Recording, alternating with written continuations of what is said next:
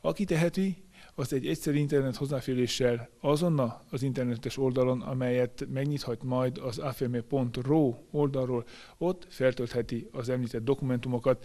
E-mail címre van szükség, és szkennelt dokumentumokra. Egyébre nincs szükség. Amiután ez a feltöltés megtörténik, a rendszer automatikusan jelzi, hogy még a 75 ezer pályázon belül van-e, vagy amikor leosztjuk majd ezt pontosan régiókra, akkor a régiókra leosztott, leosztott büdzsén belül van-e a pályázat, vagy már kívül. Természetesen mindenki arra számít, én is arra számítok, hogy az első percekben óriás lesz az érdeklődés.